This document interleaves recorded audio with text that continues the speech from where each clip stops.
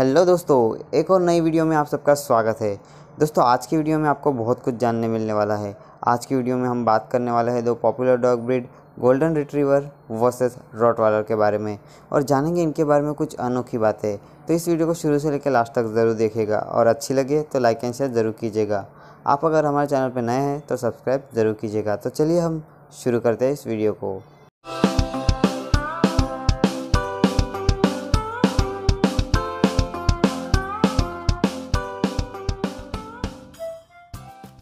तो दोस्तों, सबसे पहले जान लेते हैं इन डॉग ब्रीड के बारे में कुछ कॉमन बातें, जैसे कि इनकी हिस्ट्री एंड ओरिजिन के बारे में।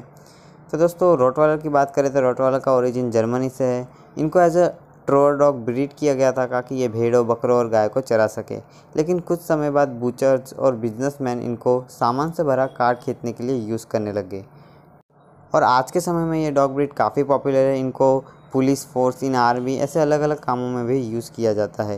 ये डॉग ब्रीड काफ़ी लॉयल एंड प्रोटेक्टिव होती है। तो दोस्तों, अब बात कर लेते हैं गोल्डन रिट्रीवर के बारे में। गोल्डन रिट्रीवर स्कॉटलैंड से आते हैं और इनको नाइनटीन सेंचुरी के दौरान ब्रीड किया गया था। इन डॉग ब्रीड को as a gun dog breed breed किया गया था। जब भी हंटर्स किसी बर्ड या डक का शिकार करता था तो गोल्डन रिट्रीवर जाके उन्हें रिट्रीव करके लाता था। और जब भी ये जाता, उन्हें अनडैमेज, यानी बिना कोई नुकसान पहुँचाए बगैर लेके आता था। दोनों ही डॉग ब्रिड काफ़ी पॉपुलर डॉग ब्रिड है और काफ़ी सारे डॉग ओनर इन्हें एडॉप्ट भी करते हैं। अगर बात करें आप इनमें से कोई एडॉप्ट करना चाहते हैं और आपको एक फ्रेंडली डॉग ब्रिड चाहिए तो ये क्लियर है कि आप गोल्डन रिट्रीवर को ही सिलेक्ट कीजिए, क्योंकि ये डॉग ब्रिड काफ़ी लॉयल होती है और आप बेबीज़ के साथ भी काफ़ी आसानी से रह सकती है। और बात करें इन दोनों डॉग ब्रीड में से, आपको अगर गार्डिंग के लिए चाहिए तो ये भी क्लियर है कि रोटवाइलर को ही आप सिलेक्ट कीजिए, क्योंकि ये डॉग ब्रीड काफ़ी अच्छे गार्ड डॉग होते हैं। आप अगर इन्हें किसी चीज़ की रक्षा करने के लिए या सुरक्षा करने के लिए रखते हैं तो ये आपकी उम्मीद पर खड़े उतरेंगे। तो दोस्तों, अब बात कर लेते हैं इन डॉग ब्रीड के नेचर के बारे में, कि इन डॉग का नेचर कैसा है अपने ओनर के लिए और घर वालों के लिए। दोनों ही डॉग ब्रीड का नेचर काफ़ी अच्छा है, दोनों ही डॉग ब्रीड लॉयल प्रोटेक्टिव और इंटेलिजेंट होते हैं। ये दोनों ही डॉग ब्रीड अपने ओनर के प्रति भी काफ़ी अच्छे रहते हैं। बात करें सोशलाइजेशन के मामले में और बेबीज़ के मामले में कौन सा डॉग ब्रीड अच्छा रहेगा तो इन दोनों ही डॉग ब्रीड बेस्ट रहेंगे, इसमें कोई डाउट नहीं है। लेकिन गोल्डन रिट्रीवर थोड़ा सा फ्रेंडली नेचर होने के कारण आपके लिए सोशलाइज जल्दी से हो जाएगा रोटवाइलर के मुकाबले। दोनों ही डॉग ब्रीड को सोशलाइज करना काफ़ी आसान और इजी होता है। आप इन्हें ज़्यादा बाँध के ना रखें। अगर ये ज़्यादा बाँध के रखोगे आप इन दोनों ही डॉग ब्रीड को तो ये चिड़चिड़े हो सकते हैं, जिसके कारण ये डॉग ब्रीड एग्रेसिव बन सकते हैं। तो हो सके तो इनको ज़्यादा से ज़्यादा खुला ही रखें, ज़्यादा बाँध के ना रखें। बात करें खाने के मेंटेनेंस की तो दोनों ही डॉग ब्रीड काफ़ी अच्छे हैं। आप दोनों डॉग ब्रीड को घर का खाना भी दे सकते हो। लेकिन अगर आप उन्हें पेडिग्री भी देते हो तो ये काफ़ी अच्छा रहेगा। आप घर का खाना और पेडिग्री दोनों मिक्स करके भी उनको दे सकते हैं। ये काफ़ी बेनिफिशियल रहेगा उनके लिए।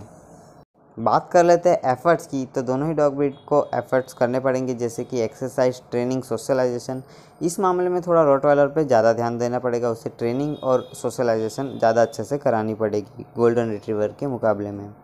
अब बात कर लेते हैं ये डॉग ब्रीड दूसरे डॉग ब्रीड या फिर दूसरे बर्ड्स के साथ अच्छे से रह सकते हैं या नहीं। तो रह तो सकते हैं, लेकिन दोस्तों आपको इनको शुरुआत से ही सोशलाइज करना पड़ेगा उनके साथ, जिससे कि ये उनके साथ फ्रेंडली रहे। अगर बात करें प्रोटेक्टिव नेचर किसमें ज़्यादा है तो रोटवाइलर में प्रोटेक्टिव नेचर ज़्यादा है, क्योंकि ये डॉग ब्रीड जल्दी से सोशलाइज नहीं होते स्ट्रेंजर के साथ। गोल्डन रिट्रीवर स्ट्रेंजर्स के साथ सोशलाइज जल्दी से हो सकते हैं। आप इन्हें दूसरे लोगों के साथ सोशलाइज ज़रूर कराएँ, जैसे कि आपके फ्रेंड्स हुए, उनके साथ खेलने दीजिए, या फिर कोई और डॉग ब्रीड है, उनके साथ खेलने दीजिए, इनको अलग अलग ना रखें, जिससे कि ये एग्रेसिव ना बने। अगर आप इन्हें फ्रीली रखोगे तो ये काफ़ी अच्छे डॉग ब्रीड बन सकते हैं।